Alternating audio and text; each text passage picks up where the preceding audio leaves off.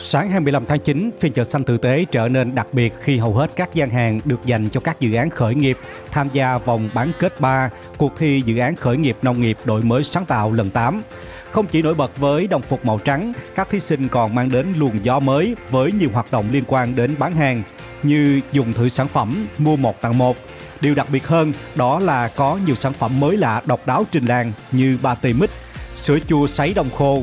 bún phở khô từ các loại đậu, nước mắm trái điều, dịch kem tươi, bột rửa rau, thịt cá cô chu, vân vân đã hấp dẫn người tiêu dùng ngay từ khi chào hàng tại thành phố Hồ Chí Minh.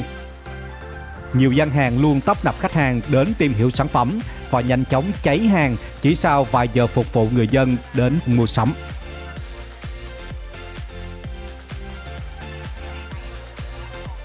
Mình thấy phiên chợ xanh ở đây rất là nhộn nhịp và có rất là nhiều khách hàng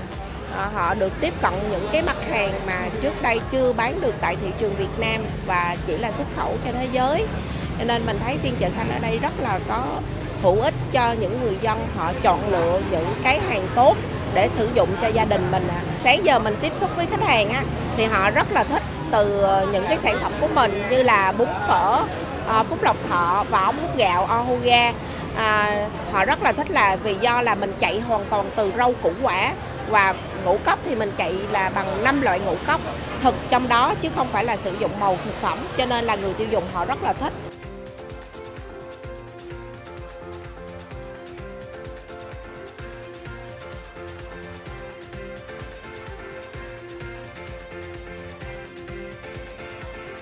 lần đầu tiên mình tham gia, mình thấy không biết ở đây có bán được hay không, hay là cái phiên chợ này không biết là có nhiều người tới hay không rồi quan trọng là có được cái được phiếu hay không, bởi vì mình đi tham gia thi mà. Cho nên là khi mà em bán được một chút thì mình thấy mọi người tới hỏi và rất là nhiệt tình với sản phẩm của em và em cũng tư vấn lại thì cũng đã cho em phiếu và em nhận được mấy cái phiếu em cảm giác là cảm thấy sung sướng, cảm giác là sung sướng.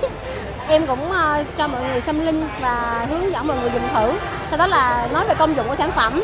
sau đó là mọi người dùng và cảm nhận cảm nhận và cho cái cảm nhận của mọi người cho em biết cảm nhận. Sau đó là em sẽ xin số điện thoại và ờ, lưu lại thông tin của mọi người. Em vẫn mong muốn là nếu như mà có được cơ hội thì vẫn muốn là bán đây hàng tuần như các bạn ở đây các anh chị đây bán. Dạ ở tại phiên chợ xanh tử tế vừa quảng bá được thương hiệu của sản phẩm vừa uh, giúp bà con có được cái sản phẩm một sản phẩm mới tốt sức khỏe và an toàn hơn.